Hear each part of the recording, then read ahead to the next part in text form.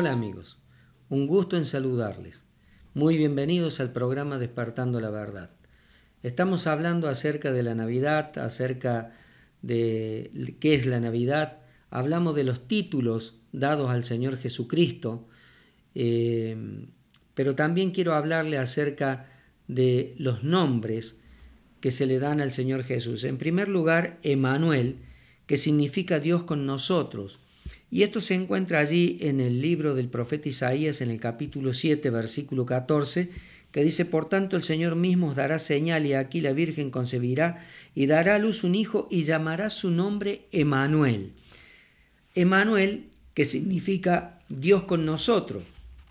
También lo encontramos allí en Mateo capítulo número 1, versículo número 23. He aquí la Virgen concebirá y dará a luz un hijo y llamarás su nombre Emanuel, que traducido es Dios con nosotros. Entonces Emanuel significa Dios con nosotros. Esto también es Navidad.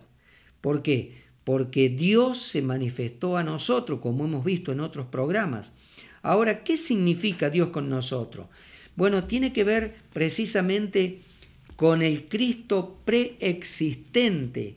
Allí podemos, podemos ver en el Evangelio según San Juan, en el capítulo 1 del Evangelio según San Juan, en primer lugar, vamos a buscar allí eh, Evangelio según San Juan, capítulo 1, para, eh, para leerlo literalmente. Dice el capítulo 1 del Evangelio según San Juan, el versículo 14, y aquel verbo fue hecho carne y habitó entre nosotros y vimos su gloria, gloria como del unigénito del Padre, lleno de gracia y de verdad.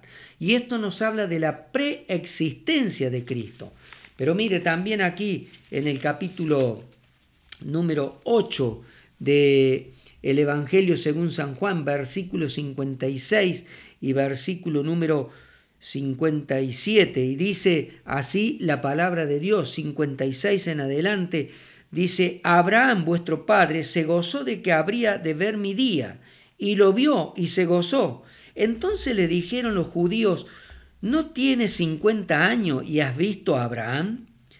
Jesús le dijo de cierto de cierto os digo antes que Abraham fuese yo soy la preexistencia de Cristo, el Emanuel, el Dios con nosotros.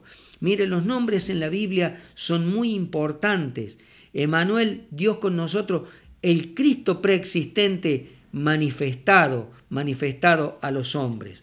Mire, también aquí encontramos en el capítulo número 17 del Evangelio según San Juan, el versículo número 5, Mire, aquí tiene que ver con la famosa oración intercesora, la oración intercesora de Cristo eh, como sumo sacerdote.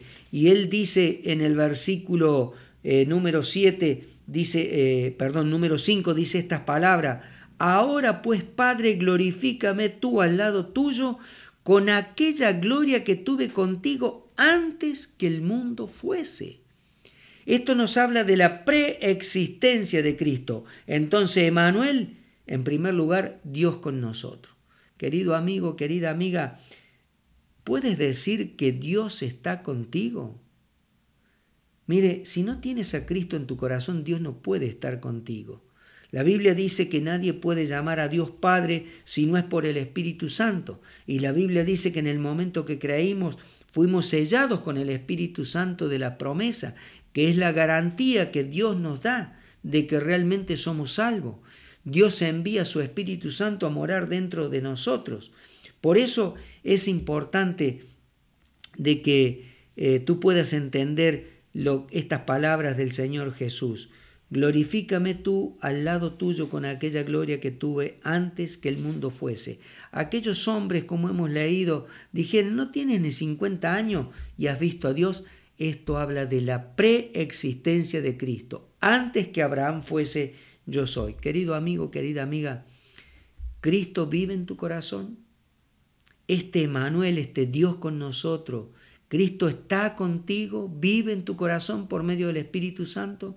El Señor Jesús dijo, yo y el Padre iremos y haremos morada en Él, hablando de aquellos que creían en su persona y en Dios. cómo Dios y el Padre vendrán a ser morada dentro de nosotros por medio de su Espíritu Santo. En el momento que tú creas, serás sellado con el Espíritu Santo de la promesa. ¿Recibirás a Cristo como tu Salvador? Mira, si necesitas ayuda, necesitas algún consejo, eh, necesitas ayuda espiritual, los números telefónicos están saliendo en pantalla y también los correos electrónicos y las direcciones electrónicas. Puedes eh, llamarnos y también si no tienes una Biblia puedes solicitarla que te la enviaremos en forma totalmente gratuita. Que Dios te bendiga muy ricamente y será hasta una próxima oportunidad.